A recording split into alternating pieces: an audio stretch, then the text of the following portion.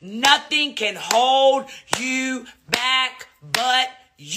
Can't nobody unqualify you. Can't nobody stop you. You could have been a train wreck 24 hours ago and make up in your mind. This is where it stops. This is where it stops. I ain't staying here. I ain't crying over it no more. I ain't gonna be mad about you walking out on me anymore. Rejection was not necessarily someone wanting out of my life, but somebody God needed out of my future. Why? Because he knew where I was going and he knew their character couldn't keep up with my purpose. That's what you got to tell yourself so you can get your butt up. Because if you don't, you're going to walk around with unforgiveness. You're going to walk around angry at the world, thinking you're making people pay that don't even care about you. So when we can start acting and moving in a way that we realize that God is the orchestrator of our lives, then we will stop holding on to people, places, and things that are not supposed to go into our next future.